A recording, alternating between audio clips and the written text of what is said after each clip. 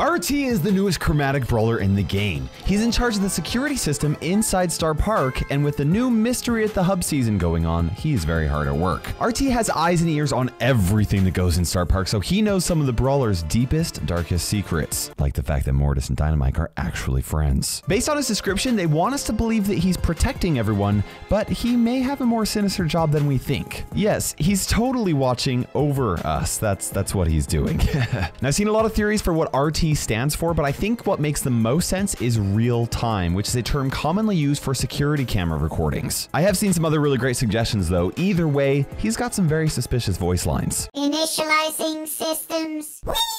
I'm losing my mind. Whee! I'll share all of his voice lines at the end of this video. RT's main attack is Tap Target. He fires a single projectile that looks a lot like the alarm light on his head. The light will stay on whatever target it hits for a few seconds, and the next projectile that will hit that target will deal double the damage. That's right, I said double, okay? In Brawl Talk, the next attack would only deal 10% more damage. They have since buffed it to 100% more damage. And because each attack remarks a target, that means that the mark will stay on an enemy that he hits multiple times times in a row. With that being said, the mark will not stay on a brawler forever, so if a brawler is not hit by any projectiles for 5 seconds, the mark will disappear. RT's super is hide and seek. His bottom half separates from his top half, and he basically becomes a whole new brawler. You control his top half while his bottom half will stay in one place wherever you activated it, and his main attack becomes a short range attack, very similar to Jacky's main attack, with a circle around him. But every time you use it, his bottom half also uses that attack at the same time, and it has the same range but but does deal a little bit less damage than his top half deals. If you can hit a brawler with both halves of RT at the same time, both attacks deal double their damage and remark the target, which is honestly insane. When RT uses his super in this form, his top half will actually teleport him to his bottom half and he will instantly gain 1000 health. Unlike 8-Bit's teleport, which has a maximum teleport distance, there is no limit to how far they can teleport back to his bottom half. Just keep in mind that RT's super does have a big weakness. If RT's bottom half dies, or his top half dies, dies, both halves will die and you'll have to wait to respawn. With that being said, if RT does not attack or take damage, then his bottom half can heal, so you're going to want to make sure you leave it in a safe place. RT's first gadget is In Line. This gadget can only be used if RT is split in half. He sends a signal from his top half to his bottom half, and anything that gets hit by the signal will take 500 damage, and more importantly, get slowed down for 2 seconds. This signal can hit any number of targets, and it can even go through walls. The positioning does have to be really good though, but I do think that it will work if RT has his super charge already, because if he hits someone far away, then he can teleport right next to them for some easy hits. RT's second gadget, which I'm much more excited for, is Hacks. This gadget can only be activated if there are enemies on the battlefield that have been marked by his attack. Right when he activates this gadget, the mark instantly deals damage equal to RT's attack damage. Now, if you use this gadget, the marks will go away, so keep that in mind. But since you can have multiple enemies marked at one time, you can actually deal insane amounts of damage, depending on how many targets are marked when you activate the gadget. RT's first star power is Quick Maths. This star power adds 3 more seconds to the duration that marks will last on enemies. Without the star power, they last for 5 seconds, but with it, enemies will have to wait for a full 8 seconds if they're waiting for the mark to disappear. This will allow RT to mark more than one target much easier. RT's second star power, which I'm even more excited for, is Recording. When RT is split in half, all damage dealt to him is reduced by 20%. Now there might be a little bit of a bug though, because it looks like the damage on his lower half is reduced by 70%, which is absolutely insane.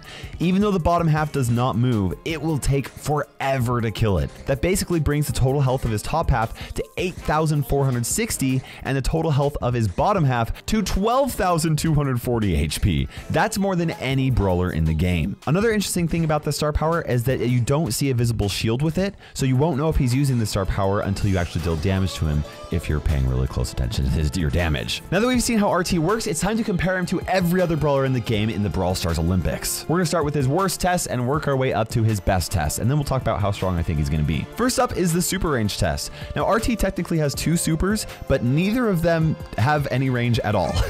because his super range is zero tiles, he ties with Rosa and Leon for 63rd place. Next is the super damage test, and whether RT is using his ability to split himself or to reassemble himself, once again, it does zero damage. So this actually ties his super with 11 other brawlers that have supers that don't deal any damage at all, so he takes 54th place. Next, we have the box test. RT can only hit one box with each ammo, and he can't use his super to change forms, or else he would have done a lot better in this test. Even though he can only hit one box at a time, each of his shots actually marks the boxes, so it only takes two or three shots to break them open. RT breaks open the last box at 1 minute and 9 seconds, which puts him in 54th place. Next, we have the supercharge test, and RT has to land four projectiles in order for him to charge up his super, and he only fires one with each ammo, so he has to reload one shot. He charges his super in 3.5 seconds and gets 49th place. Next is the reload test. Now, I tested both forms in order to see which one has a faster reload speed, and I found that his first form has a slightly faster fire rate than his second form. His second form can unload and reload 10 shots in 22 seconds, but his first form can do it in 20.7 seconds, so he ties with Otis for 35th place. We're not even halfway through all the tests, and RT is better than half of the brawlers for the remainder of them. Next is the auto aim test. RT's second form deals its damage instantly, so if the enemy is inside its range, then auto aiming will obviously work every single time. However, his first form can successfully auto aim from a little bit further away, even though it deals less damage. RT can auto aim from four tiles away and deals 1,500 damage, so he actually ties with Bonnie for 31st place. Next is the area test. RT is able to break two rows of 10 skulls with his main attack while in his first form, and his main attack in his second form covers more area than that with just one of his halves. And since both of them have the same radius, I just doubled his score. Now his gadget can technically break an infinite number of skulls depending on how far apart his two halves are, but because there's no definite number and how much setup it requires, I didn't really use that for this gadget, but it's kind of cool to see. RT covers 74 skulls in total, and he ties with El Primo, Barley, and Mortis for 28th place. Next up was the race test. Now, once again, with the right setup, RT can just use his super to instantly teleport across the entire map. I'm not gonna let that count though, so instead, he switches to his second form since he can have a much faster movement speed than in his first form. When he's combined, he has a normal movement speed like most of the brawlers in the game. When he's split up, he has a very fast movement speed similar to Crow, Mortis, and Max. RT finishes the race in 10.8 seconds and ties with Colt for 26th place. Next, we have the Swarm test. RT switches to his second form since both of his halves together can reach almost all of the bots at the same time with their attacks. His bottom half can't quite take out the bots with one hit like his top half can, but his top half has to attack in three different spots to destroy the rest of the bots, so they're all gone after his third ammo. He defeats the Swarm in 3.7 seconds and ties with Buster for 22nd place. This actually suggests that he's going to be pretty good at dealing with multiple enemies at once. Next is the attack range test. RT's second form has a radius of three tiles, and I guess you could double it with the bottom with his bottom half, but it's not as long as his first range form, okay? His first form's attack range reaches across nine and two third tiles, so he ties with Leon and Eve for 22nd place. Next is the boss test. RT's gadget doesn't actually help in this test because it takes the extra damage that would have been dealt by his next attack and just deals it instantly. Now, if the boss was left with less than 1,500 health on the last hit, then both of his gadgets actually would have been able to help a little bit, but it doesn't, so he just attacks in his second form until it's gone. RT is able to defeat the boss in 36.7 seconds, which puts him at 18th place in the boss test. Next is the one second DPS test, okay? RT uses his first form to mark the boss so that his second form can deal max damage. He's able to land two quick shots and quickly activate his gadget for a little extra damage before his one second is up, and deals 13,700 damage in just one second. That puts him in fourth place, suggesting he's really good at burst damage. And to confirm that, up next is the assassin test.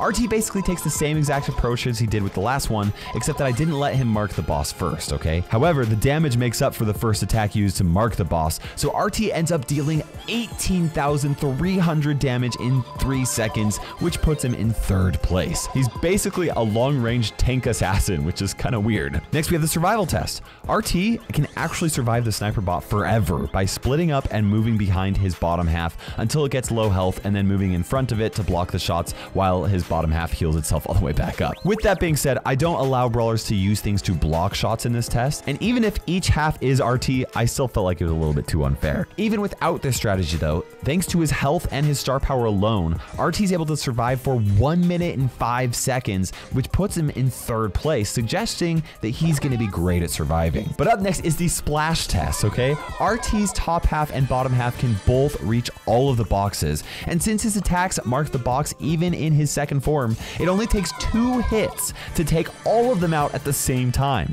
He completes the splash test in 0.8 seconds and gets first place overall. But we still have one more test that he's first at the three attack kill test. After RT's first attack in his first form, his next two attacks deal double, which adds up to 7,500 damage.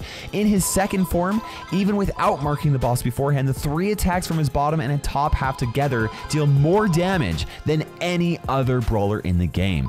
He's able to deal 16,800 damage with three attacks and gets first place and is easily able to take out any brawler that gets too close to him. RT did pretty incredibly well in the Olympics, okay, but how strong do I think he's gonna be? Let's rank him in every single mode and then I'll show you all of his voice lines and pins. When it comes to gem grab, Definitely S tier, okay? Not only can he deal with enemies from a distance by himself, but marking enemies who get too close to the gem mine is going to make it very dangerous for them. Plus, as a gem carrier, he can actually teleport away with the gems. You can also play really aggressively once he's split into two parts, which makes him really great at controlling lots of areas with lots of walls and stuff like that. He's overall really great. For Brawl Ball, I think he's going to be A tier. He doesn't actually have any really amazing abilities for help, helping him score goals. He's okay on defense. He's very tanky, right? But his insane tankiness and damage dealing abilities alone are enough to help him make him strong enough to at least play in Brawl Ball. For Heist, I think he's going to be A tier as well. One thing to make note is that he actually can't mark the safe. Like once he marks it, it doesn't deal additional damage to the safe or anything like that. But he does have the, the potential to deal insane amounts of burst damage if he can get onto the safe and then split into two before attacking with it. And if he does that with an enemy close to him and the safe so that he can then recharge his super, he can then reattach and run away as he attacks the safe from a distance, okay? He's got good, consistent, regular damage from a distance and insane burst damage as well, which is also really good for defense and heist. For bounty, definitely S tier. In a long range open map, he can deal lots of damage from a distance and mark enemies so that heavy hitters like Piper or Bea can take them out with double damage. Like, can you imagine getting hit by a Bea, a charged Bea shot while they're gonna take double damage? Like, it's insane. Pair that with a Belle, then the damage is gonna ramp up really fast and people are gonna get taken out very quickly. But then you have the bounty maps have lots of walls and he can actually split into two and burst enemies down with his close range attack and then use his super to retreat as well. I think RT is going to be S tier in Hot Zone as well. He's basically a long-ranged tank, and that by itself is very useful in Hot Zone. Keep in mind that you can't capture the zone with only his bottom half, so he can actually only control one zone at a time, but I still think that RT is going to be plenty good at capturing zones without that ability. As for Knockout, S tier again, guys. His second gadget that allows him to explode his marks on enemies is going to be very good at helping him take out enemies. And the fact that most brawlers can get one shot by Bea or Piper when marked by RT makes him such a good choice. As for solo and duo showdown, I think he's going to be A tier in both of them, although he might be slightly better in duo showdown, where you can actually have somebody kind of help protect his lower half when he really needs it. He is very strong, but it could be kind of a risky play for you to actually use your super to split in two, because as soon as you do that, you have to protect his bottom half, because if his bottom half dies, then he dies, and that's it for, for showdown, right? I can absolutely see a situation where you split in a half, and then the smoke starts closing in, and you can't recharge up a super in time for you to actually save his lower half from the smoke. Like that's definitely gonna happen to somebody, right? Because charging up his super when he split is so much harder because his range is so short and it's a little bit trickier for you to actually get up close to enemies. Overall, RT is gonna be insanely good. At least I think he's going to be really good. I do plan on gemming him in the Brawl Pass and upgrading him and playing him against actual players so we can actually get a good feel for how strong he is before you make the decision to invest your gems in this Brawl Pass. So make sure you subscribe for that. But now let's hear all of his voice lines and I'll show you all of his pins as well. That's all I've got to say for right now. So I'll see you guys in the Willow Olympics.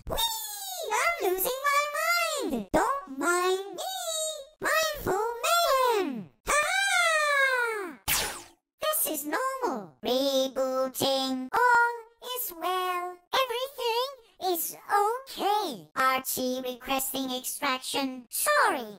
Major malfunction. In my absence, please read the Star Park FAQ.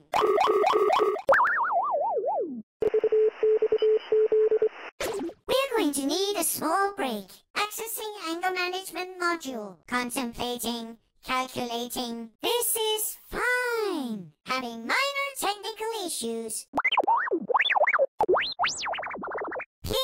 Be mindful of your surroundings. I am watching you. Hope to see you soon again. Oh, you went the wrong way. Please do not ignore my instructions. Glad to be of service. Have a fantastic day. Oh, you seem lost. You seem in need of directions. All eyes on me. Scanning. Verify victory. RT in the place to be. Do it for the robot family. Showing myself the way to victory.